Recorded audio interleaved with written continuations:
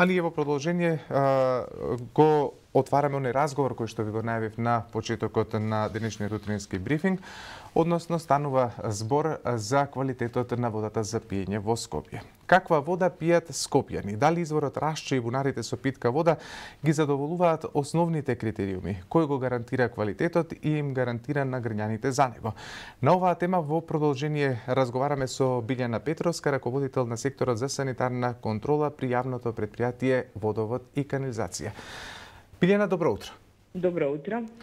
На самиот почеток, каква вода пијат скопјани? Скопјани пијат високо квалитетна вода. Исклучителна и специфична воопшто за целиот овој регион, па и пошироко во Европа. Можеме да, да ставиме добар подпис за квалитетот на водата за пиење, но мора да имаме а, во нашето размислување дека ресурсите се со ограничени количини, па безцелното користење на ресурсите а, нам корисниците ќе не дотера во кјорсо как што се вели. Затоа треба да бидеме исклучително рационални и да го цениме сето она што ни доаѓа во чешмите секојдневно особено кога се станува збор за а, исклучително квалитетна вода за пиење. Значи, вода богата со минерали кои што се потребни за нормална и функционална дневна а, активност на секој организам. Особено ние кои што живееме во Скопје, а, кои што сме долгогодишни корисници на водата за пиење од изворот Расче, па и во комбинација во летниот период кога имаме нели недостаток на некакви количини на вода и ја надополнуваме со некаде 20-30% водата од бунарското подрачје Лепенец Нерези, а, треба да знаеме дека на вистина имаме големо богатство.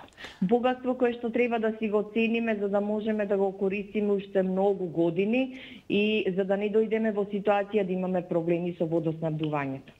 Доколку така, сме рационални, uh -huh. природата ќе биде а, а, кон нас милостива, што се вели. И а, сето она што досега сме го имале без никаков проблем и понатаму ќе ни го дарува. Така. Ама ако бидеме нерационални, а, нема да биде добро за воопшто. Така, вистинска редкост е во голем број од европски градови, па и во светот вода да. за пиење да се добива од природен извор. Јавното така предпријатие Водовод и канализација Скопје испорачува на своите корисници и гарантира секојдневно за незината безбедност. Точно. Како се проверува квалитетот на водата за пиење? Значи, видете вака, А, бидејќи работиме ние по закони и законски рамки, значи тука пред нас е закон, законот за води пред се и во него има подзаконски рамки, тоа се правилници кои што ги пропишуваат нормите за квалитетот на водата за пиење воопшто. Водата за пиење која што тече во водоснабдителниот систем на град Скопје а, максимално ги исполнува а, овие а, законски рамки, што значи дека оди на секојдневна контрола а, спрема големината на агломерацијата, еквивалент жителите на град Скопје, нашите места се бројни. Значи некаде од 50 до 60, пошто се работи за пандемиски период, ние а, од кога а, се случи овие пандемиски услови, го зголемивме бројот на примероци за честеноста на земањето, за да му покажеме на граѓанството во Скопје дека на вистина се грижиме за квалитетот и за безбедноста на производот. Значи за сето она што го испорачуваме во водоснабдителниот систем и доаѓа до, во чешмата на корисникот, од аспект на хемија и од аспект на микробиологија. Анализите не само што се бројни, параметрите кои што се анализираат во текот на секоја анализа, ревностноста на земањето на примероците гарантира максимално висок квалитет. Изборот е наш, дали ние ќе пиеме вода од водоснабдителен систем или ќе пиеме нели вода купена некаде во некој шише во некој маркет. Значи, јас повторно велам, а, производот кој што ви го испорачуваат велиме тазе, нели? Вие имате дистрибуција на вода од извор до град некаде за два часа. Јас мислам дека е корисно секој кој што живее во градот Скопје да користи вода од водоснабдителен систем. Но повторно изборот е личен. А, многумина доаѓаат од надворешни урбани средини, нели? По работа, по а, промена на, на живење и ред други работи, носат своји одредени навики. но не е лошо кога ќе дојдат во нашата урбана средина да се прилагодат на она што таа им нуди. А, пред десетина дена соопштивте дека кај вас се инсталирана најсовремена лабораторија за молекуларна микро, микробиологија со ПЦР детекција во реално време. Што тоа значи? Така. Што значи? А, нашата лабораторија е акредитирана во 2011 година. Знаете како, кога имате акредитација, акредитацијата не е тоа само еден документ со сертификат.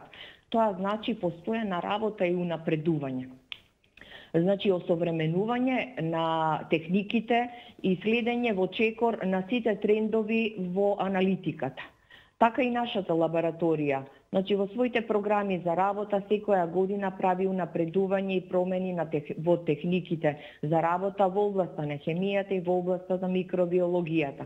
Таму гледаме да имаме максимални достигнувања, но паралелно да правиме едукација на персонал за да можете да добиете квалитетен а, а, резултат и да имате а, резултат со кој што ќе тврдите, ќе го подпишете и ќе ќе кажете дека имате навистина безбедна вода за пиење. Колку време е потребно да се добиете резултати од анализите?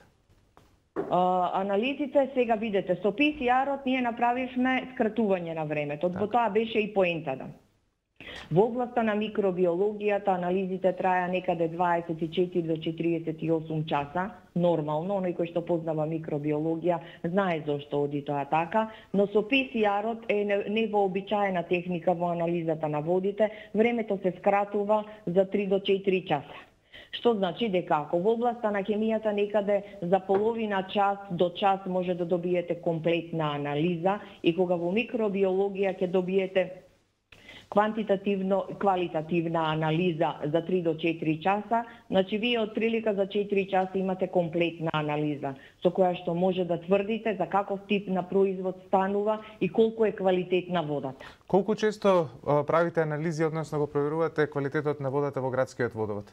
Секојдневно. Значи секојдневно од 50 до 60 мерни места. Јас тоа го спомена во почетокот на разговорот, но а, мониторингот, велиме ние, за квалитет на вода за пиење мора да е секојдневен. Значи, тука нема отстапување. Така, пред известно време на социјалните медиуми, па и во некои од електронските медиуми беше објавена информација дека во системот Нерези Лепенец, односно околу бунарите, забележани се голем број диви депонии и имаше поставено видео од излевање на фекална вода во близина на овие бунари. Ја проверивте ли водата там? Знаете, знаете сега како. Влијанието на луѓето и негрижата е бескрајно голема. Так. Бунарите лепенец нерези ви се копани на длабочина од 70 до 80 метри. Инфилтрацијата воопшто не е можна. Сето она што се случува во површинските делови, ние правиме редовна контрола и на дивите депонии, ама а, еден е тој што прави грижа, а 10 се тие кои што ја рушат грижата, додека дојде инспекцијски надзор и комунална хигиена, сето тоа го среди, значи на вистина треба време. Може би вие ќе го видите во период на чистење, а следниот ќе го забележи во период кога веќе некој зад вас оставил нешто. Но има ли онечестување на водата на Не, не. Значи јас можам да гарантирам а, професионално а, дека нема никакво влијание на инфилтрација. Она што го добиваме ние од бунарите лепенец нерези е на вистина квалитетна вода. Вода која што може ја додаваме само 2-30% во капацитетите на изворот Рашче, кога имаме летен период и кога корисниците на вистина безцелно ја користат и онака скапа вода за пиење. Верувајте дека како ќе поминуваат годините, мора да сме исклучително грижливи и внимателни доколку сакаме да имаме долготраен ресурс кој што на вистина ќе ни дава а, ни дава квалитетна вода за пиење во комбинација со бунарите и дека може да сме сигурни дека сето она што го пиеме во водоснабдителниот систем на вистина е со исклучително висок квалитет. Новата лабораторија да Новата лабораторија е акредитирана, но ќе се користи само за потребите на водовод и да, канализација да, или ќе да. може да користат и приватни лица кои што имаат а, а, бунари и извори Сега видите вака, акредитираната лабораторија е, на, е лабораторија на комунално предпријатие ЈП водовод и канализација. Ние работиме за потребите нели, на град Скопје, на она што го испорачуваме за, во водоснабдителниот систем, но работиме и за други лица. Работиме во рамките на капацитетите кои што ги имаме, нели? Така. И работиме во рамките на на потребите на граѓаните. Значи секој оној кој што ќе дојде има собствен водоснабдителен систем, а, може да направи анализа во нашата лабораторија, се разбира. Така. Билјана, мислам дека го отворивме ова прашање, на вистина заслужува и повеќе време, повеќе простор, но добро е да се разговара почесто на овие теми, сепак е да а, биде јасно за граѓаните, од она што вие го кажавте, дека пијат чиста и квалитетна вода која што ја добиваат преку водоводната мрежа, што ја спроведуваат од водовод и канализација. Ти благодарам за овој Така, разговор ви, утрово. Ви благодарам, ви стоиме на располагање секогаш кога имате дилеми и прашања во оваа област, можете да се обрадите и да добиете конкретен одговор. Благодарам.